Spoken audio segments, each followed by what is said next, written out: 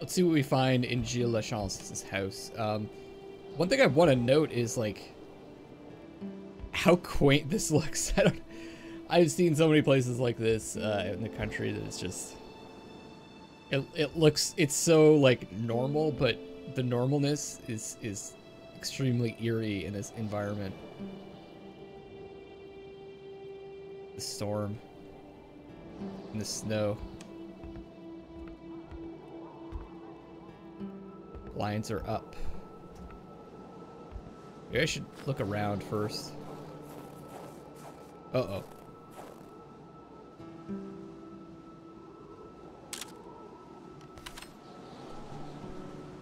Okay, none of the none of the orange footprints. It was so cold. Already Carl did not feel his toes anymore. Uh-oh. I think I see another person in ice. Yes. What the hell?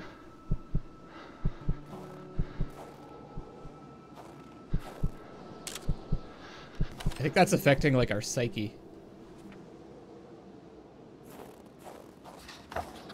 That is not good. Let's go inside. The air was freezing, right down to the bone. Wow. The otherworldly ice had struck again. The woman's hopes and dreams were frozen in eternity. What time is it? By a clock that works, so time is kind of stopped here. We could take steak. Oh god, I don't know if I should be standing. The pot was uh, cold, and the stew inside wasn't cooked. It's likely that poor Giselle was slow cooking it before she got snapped. That's What Giselle.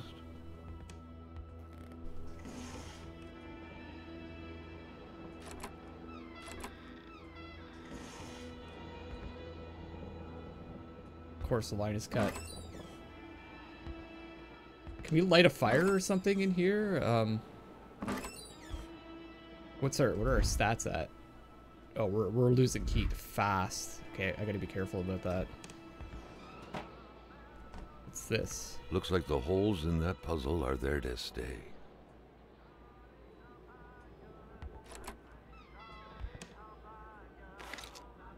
Bathroom.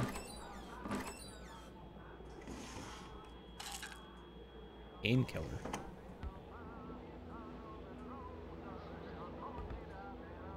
Oh, uh, the unpacked boxes suggest they just moved here. They're painting.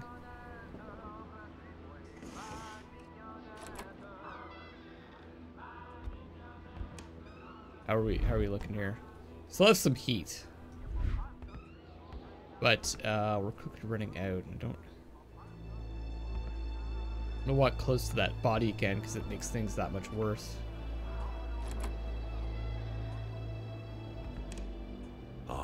Moving. What a pleasant activity. Of course, you'll find the record player only to find the records weeks later in some random box.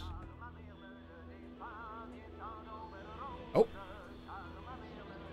La Chance. Bertrand Lachance. 1948. Uh, so that must have been when the general store was opened. Okay, we need we need some heat. A mess. Clearly, there was some major revamping work underway here.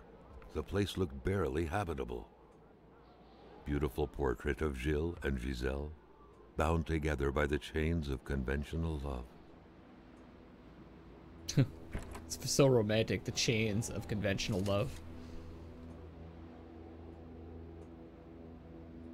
The cross looked after a marriage's well being and served as a motivator to uphold the priest's sermons calling for more little worshippers on one hand and cautioning against guilty pleasures on the other. Indeed, the Lachances were still part of the God fearing generation. Box full of Harlequin novels. So more of a traditional couple, I guess.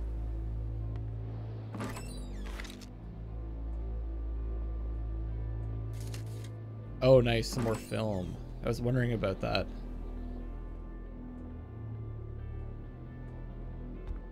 A nice white coating would restore the room to its charm of olden days.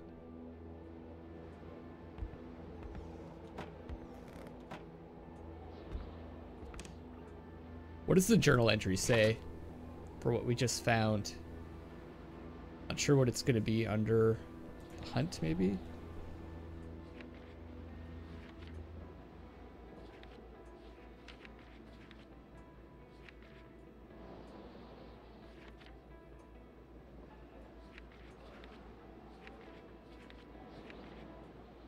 Oh, here it is. Cold mystery. The general store manager's wife, Giselle Lachance, frozen. What freezer is behind all this? It's got to be the beast, right? Oh, lights. You miss anything?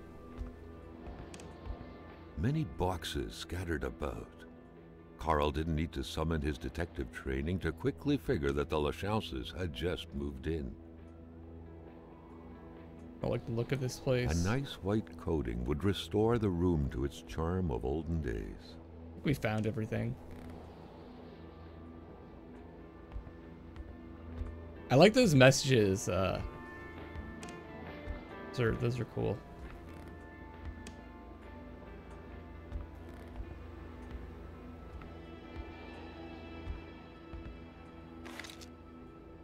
Can I light a fire here? Can.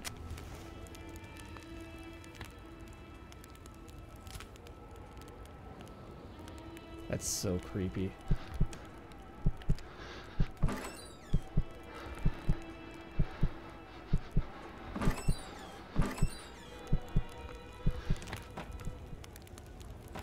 Being too close to that really affects your mental state. Tried to escape out the window.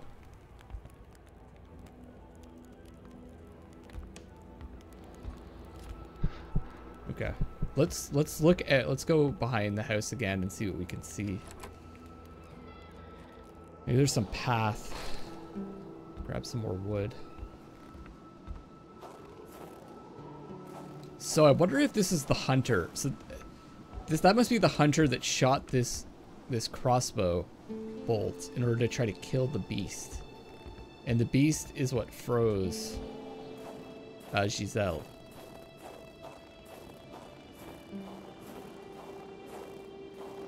Guess the hunter was not successful. Magnet? Interesting. Okay, let's let's see where this takes us.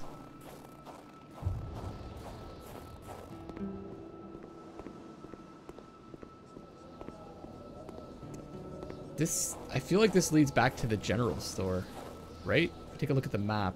What direction are we traveling in? Yeah. Kind of traveling back to the uh, area where the general store was, where that campfire was, and where that, where uh, Gilles was.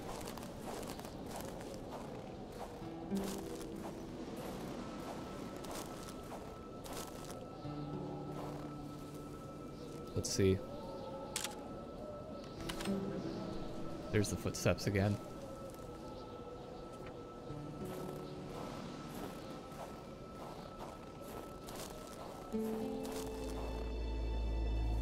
And there he is.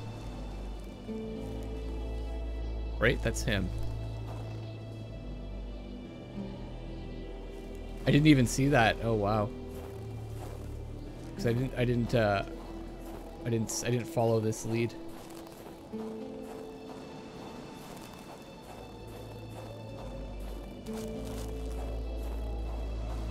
Question is, where do we where do we go next? Do we check the other houses out in the area? What does that number mean?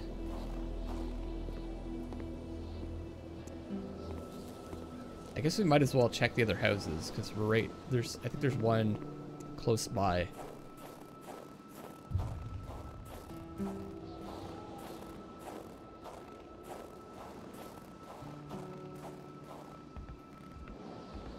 to warm up. There's the addresses.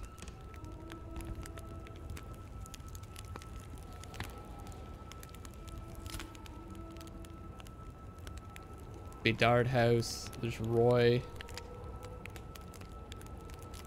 I don't those those names don't really ring out. There's the doctor. Gilles said he was gonna go see get a doctor's note. Maybe there's something there. And of course there's the Hamilton residence as well. Let's check out uh, the Bedard and the Roy houses. See if anything's happened there. Before I do that, I just want to take a look at the journal again, to see if, if there's any leads I should be following up on. 739.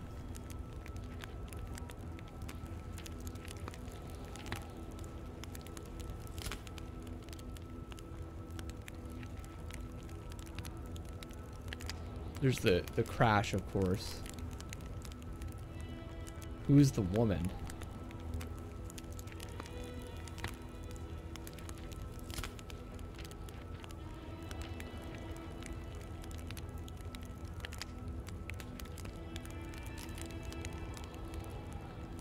Okay.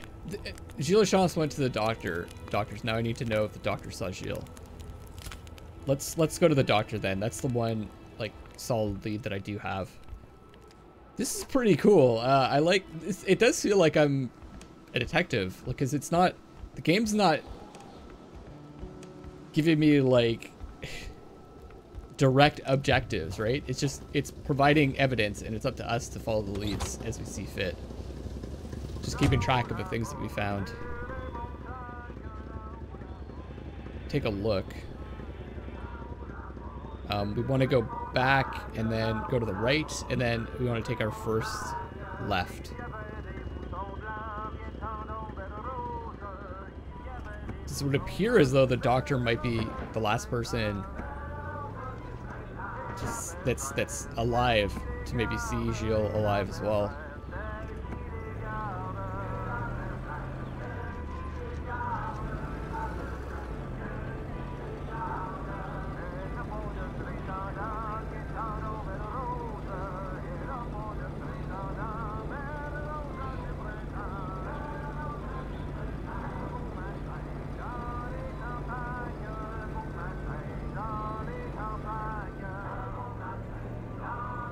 I think we have to go around.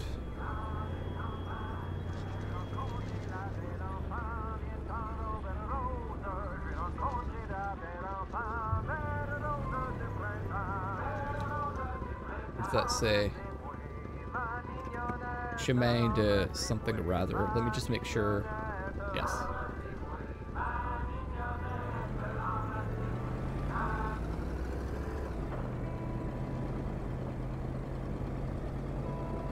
It's also really cool. Like I, oh wait, okay, sorry, I thought that was a person. Like I really feel like I'm in this world. Um, they've done it.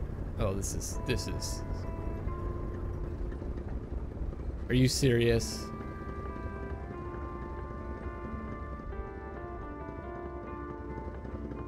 I I would not drive over this, but do we have a choice?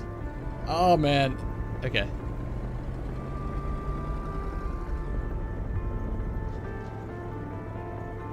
Doctor's on the left. It did a really good job of like really immersing you in this world, giving you like this, this small piece of land to investigate. I'm just wondering if we're gonna find anyone alive here.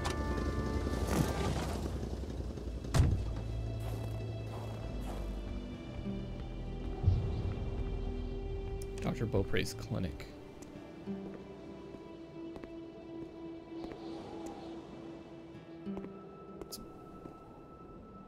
What the hell happened here? It, it almost looks like this meteor struck the path. It's so odd. Anything in the mailbox? The Key. The clinic's key. Not a very smart place to put a key. Note on the door. There should be a law forbidding doctors from falling sick. Medical emergency in town. The doctor there is sick. He'll be back soon. If he dies, I won't be returning. I'll have to replace him.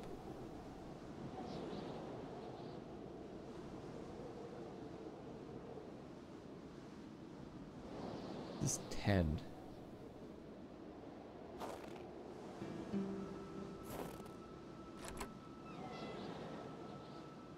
Doctor's In spite of Dr. Beaupre's goodwill, the place didn't look much like a physician's office. It could easily be mistaken for a sewing shop. burn. Sick burn.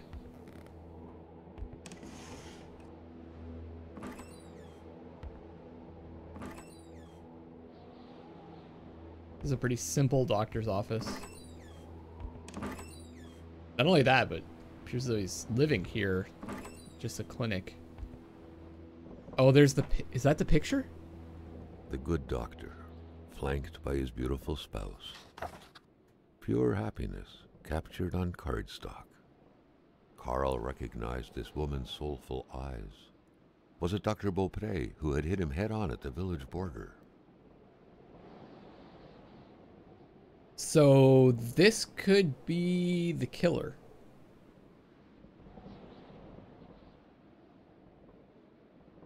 So we found that picture in the car, and uh, we found the lockbox in the car. So there's a pretty good chance um, that that's the doctor's the killer. Never did quite catch her name. The men called her Lori, or I'm not sure how to I guess I'm just gonna say Lori for now. She had a neck wound. Oh. There was so much blood. The bullet had done a lot of damage, probably hitting the cerebellum. It was hopeless. She had a cardiac arrest. The med had found her like this, they said. I doubt it. But in a small town like this, it's usually best to turn a blind eye. Been told to step back from sending out the death certificate. This whole thing sickens me. Rosaire Almond. No medical explanation whatsoever can explain why old Rosaire is still alive. As we in the trade say, the only way to cure him is to kill him. Wow. Um.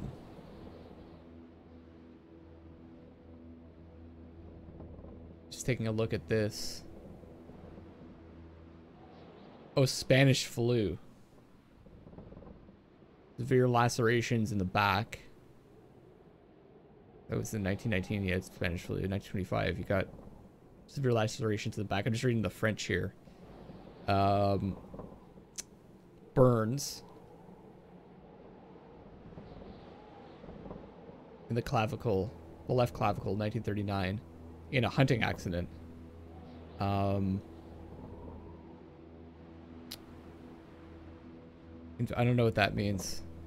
Fracture, maybe 1961, 1966. Uh, Médicament. He's can't can't figure out why he's still alive. Yeah, so that's the part at the end is is what we read. Um, no medical explanation whatsoever can explain why old Rosaire is still alive. So in the trade say the only way to cure him is to kill him. Sylvie Bedard. All of her symptoms point to the same root cause. She's pregnant. She refuses it. She denies it. Willing to bet her husband is not the father. Let's just hope it's not Everett Lockhart, though. Or she would have an illegitimate child and syphilis on her hands. Nasty. Um, allergic to penicillin.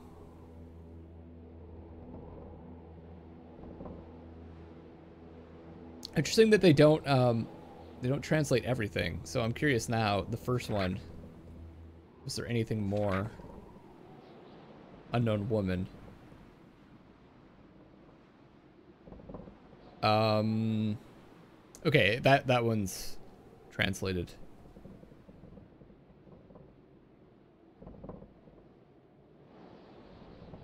Some unknown woman.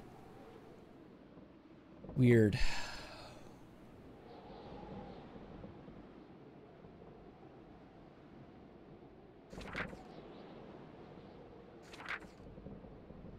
Anything? Anyone else? William There Joseph was Hamilton. no doubt that the doctor and Hamilton knew each other very well.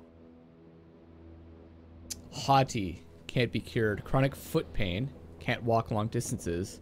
Rich, I'll cure him of that one day. what else does it say? Big profession, big shot.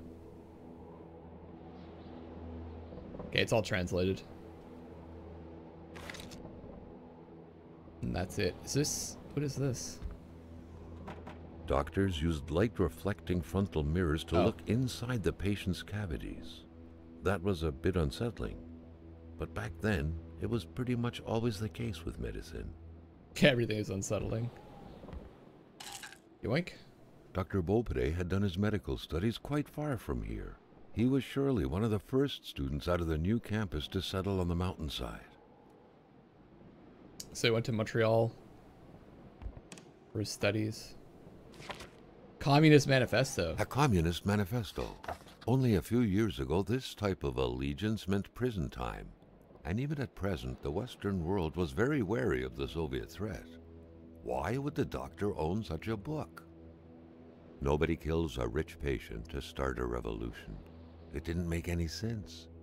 He had to dig deeper still to understand. Luckily, that was Carl Faubert's specialty. The history of all hitherto existing society is the history of class struggles. Freeman and slave, patrician and plebeian, lord and serf, guildmaster and journeyman, in a word, oppressor and oppressed, stood in constant opposition to one another, carried an uninterrupted, now hidden, now open fight, a fight that each time ended either in a revolutionary reconstitution of society at large or in the common ruin of the contending classes. In the earlier epochs of history, or epochs of history, we find almost everywhere a complicated arrangement of society into various orders, a manifold uh, gradation of social rank. In ancient Rome, we have patricians, knights, plebeians, slaves. In the Middle Ages, feudal lords, vassals, guildmasters, journeymen, apprentices, serfs.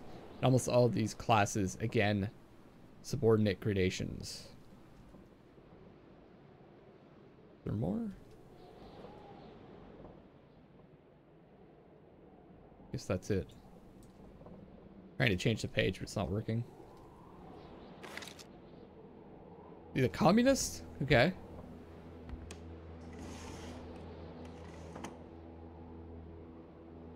A chamber pot. Fortunately for Carl, inspecting it wouldn't further this particular investigation. Let's, let's get away from that chamber pot, shall we? I don't think the fact that he might be a communist is really all that relevant. My inventory is full. First time that's happened. Store in a cool with a constant temperature, they said. Definitely cool. It doesn't look as big from here. Roger's apparently fascinated by history. Yeah, that's not good. Someone had lost a few liters of blood here.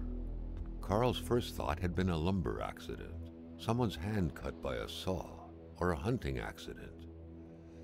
In any case, whoever had lost all this blood couldn't have gone far. Perhaps they were already dead.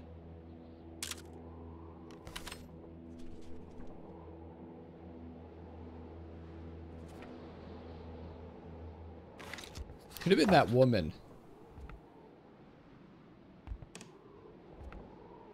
Carl got the trembles as he imagined the excruciating pain that kind of scalpel could no doubt inflict. Within these miserable walls, patients probably felt more like in a slaughterhouse than in a doctor's office. Jeez. My nightmare. Carl's a bit overweight, I guess. Right next to the kitchen.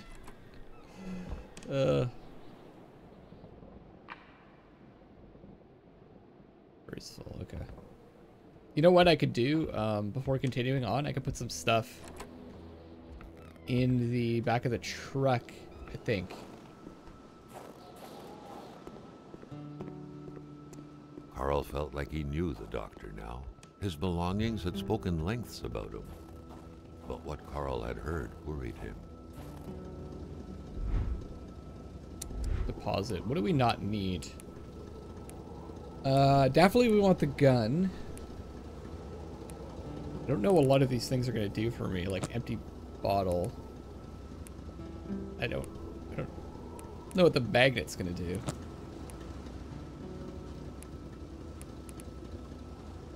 I don't know if we could like eat the steak for health. hardware, pliers. Like I don't know what any of this stuff does yet. So I can I can go back to the truck to grab them if I do need them. I'm gonna hang on to the log though so I can start fires. Steak I'll drop off also. The fire starter and the first aid kit. Let's keep investigating this clinic.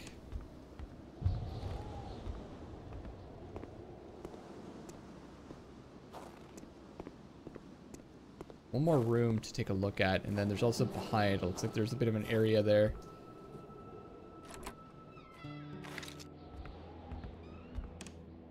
fire.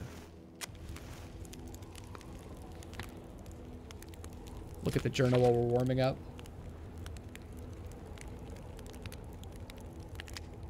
The young woman. Okay, so this is another case. The file seems incomplete. Who is this Cree? Oh, she was a Cree woman. Okay.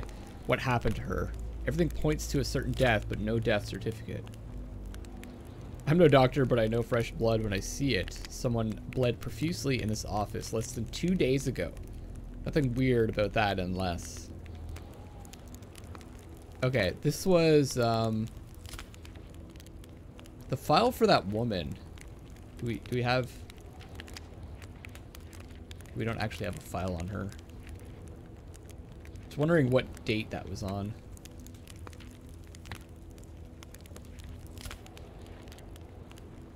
Ah, there's more to Hamilton's murder now. Isabelle's picture being in the reckless driver's car suggests Dr. Beaupre has something to do with all of this. All that's left is to figure out his exact role. According to the doctor's medical file on Hamilton, the two men seemed to get along pretty well. Were they friends? Hamilton had so few. Never good to disclose communist ties in a small village like this, where established order is fiercely defended. Is it only intellectual curiosity on a doctor's part or actual convictions? Kind of hard to tell from just a book. Hugh Lachance went to the uh, doctor's... Oh, we already read that. That was from before. Any more... Do we get any more info on the other cases?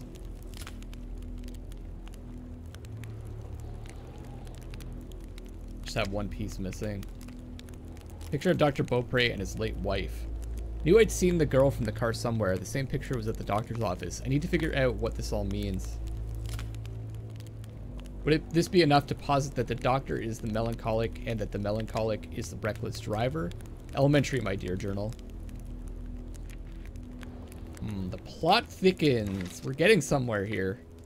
Getting somewhere. Isabelle Beaupre. She died. I think we got that impression already, right?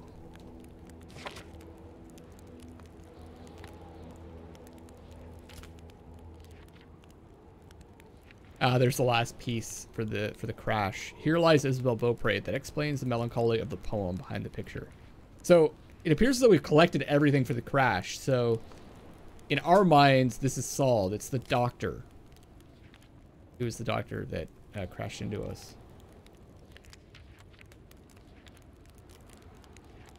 The question now, though, is how is it related to the murder? Is the doctor the murderer? And I mean, ultimately, isn't this the the the real case? Uh, what's behind this cold?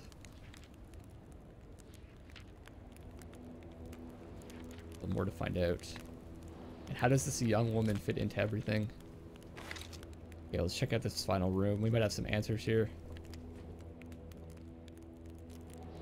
Locking a door isn't enough. What? Blocked from the other side, I guess? For the one-eyed, or for other vision problems, the eye patch was the way to go. Attach wire.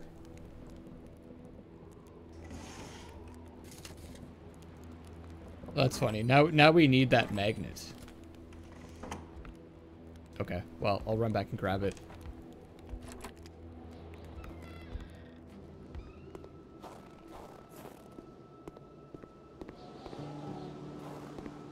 Maybe there's there's some way we can open the door with that. I'm like I'm into this, guys. I'm like super into this. Um, really curious what's what's happened. I like I like what they're what they're doing here. I also like that it's not like it's not too over the top. It's just like there's some supernatural stuff to it, but it feels very grounded.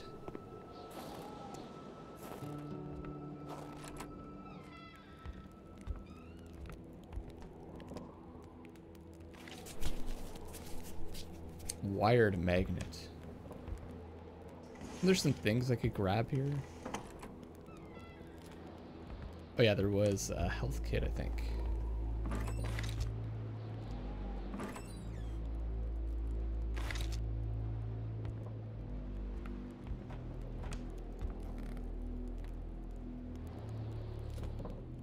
We could fill up. We can fill up the bottle. Oh God. Do I need to go back out and fill up the bottle?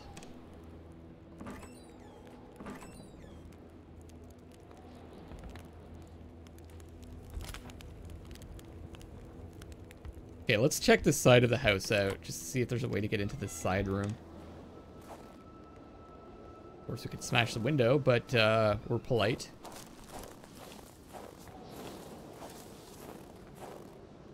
Use the other door. So, okay, there's something going on in there. Oh, I see. It's not a room. It's just another entrance.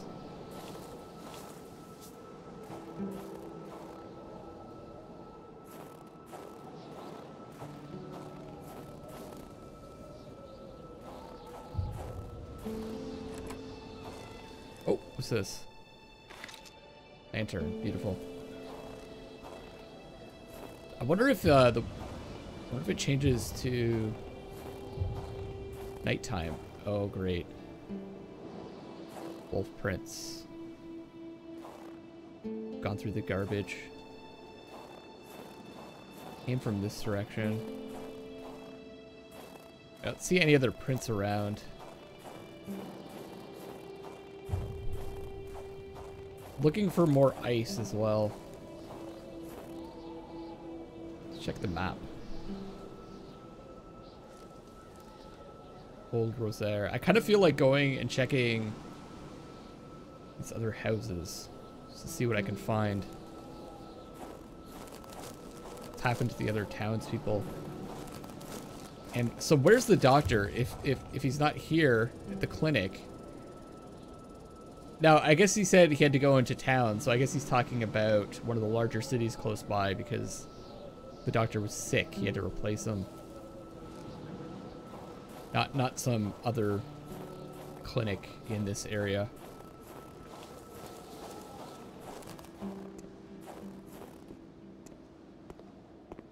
All right, I'm going to wrap up this episode here, guys, and we're going to check out, I think, the other houses in the area on the next one. Thank you so much for watching. This is Luckless Lovelock signing off for now, and I love you all.